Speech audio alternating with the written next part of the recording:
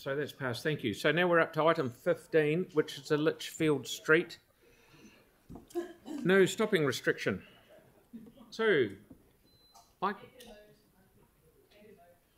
Happy to move? Uh, I've, I've got a question, and uh, Sarah's happy to move and Mark's happy to second it.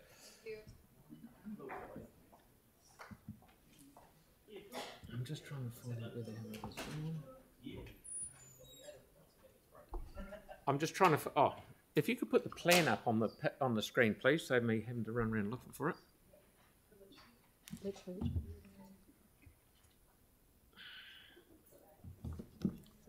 Uh huh. Yep. Thank you. Um, I, tot- I totally agree of why we're doing this because we've got a bit longer tram than we used to have.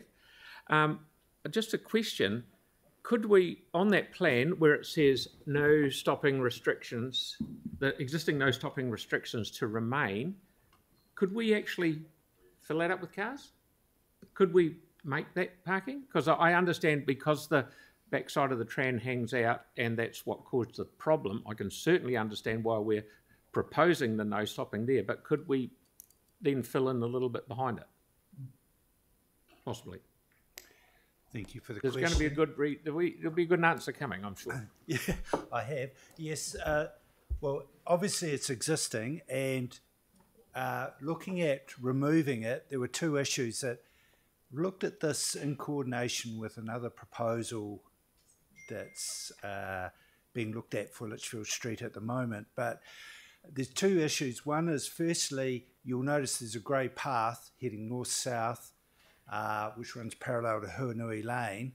Uh, that no stopping was there just to give people who use that uh, walking path some visibility if they wish to cross uh, Lichfield Street. Uh, the second is in line with proposals being looked at currently for this road. Uh, that was proposed to be a, a curb extension area to further assist pedestrians crossing Lichfield Street uh, in, view, in terms of uh, road crossing distance and sight visibility of approaching vehicles. So that was the reasoning I left the existing no stopping in that position and just extended along uh, to ensure that um, there was plenty of room. Uh, just another another thing that I've suddenly remembered is that the problem there is not just with the tail swing of the larger tram that has been purchased since the tram track was put in there. Uh, it's they've also it's not only the problem with that tail swing, but it's also been an issue where if cars are large vehicles are parked poorly, i.e., out from the curb, there have been times when the tram driver has actually had to stop the tram and wait and attempt to find the owner of the vehicle. Sometimes I've heard that it's the fortune they haven't been too far away um, to, to get across the road. So putting back parking as well would just uh, further extend a, an existing problem that we have with the tram tracks so close to the parked vehicles.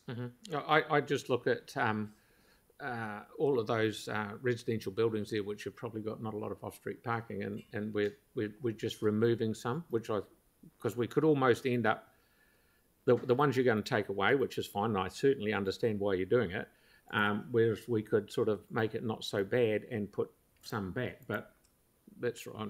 I'm, just asking a question, that's right. Okay, Sorry, Phil, can I just point out that that's, um, all of the parking down Lichfield Street is currently under consideration and we're looking at the number of people there and all those kind of things as part of the Te Kaha Streets hearings panel. So we're currently looking at exactly that stretch of road.